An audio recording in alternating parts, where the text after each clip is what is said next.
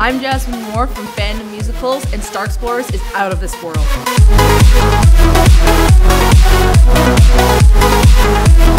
Star Explorers is our second full-length musical.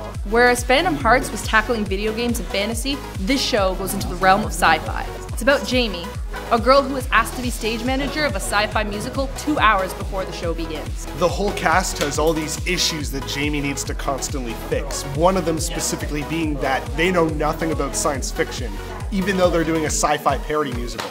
These other stories are happening around her, and she's trying her best to keep everything from falling apart. The whole show takes place in real time, so there's a lot of tension as to whether or not she's going to resolve everything by the end of the show.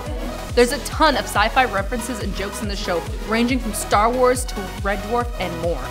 We even have a character based off of Gavin from Rooster Teeth and the Slow Mo Guys. There's so many people that didn't play Kingdom Hearts, but they still enjoyed our first show, of Phantom Hearts. Just because of all the jokes that we had. It was so funny. So even if you don't like sci-fi, everyone will still find it hilarious and enjoyable.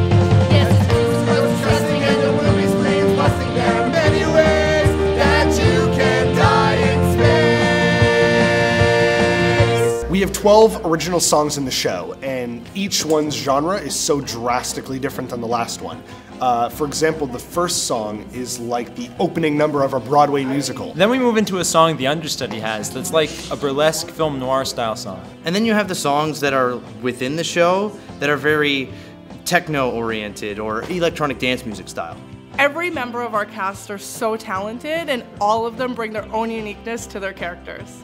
We have a lot of familiar faces from Phantom Hearts and a few new cast members that we hope to keep seeing for a long time. So our show is in just two months, and we still have a lot to do, but we're incredibly excited, and you should be too.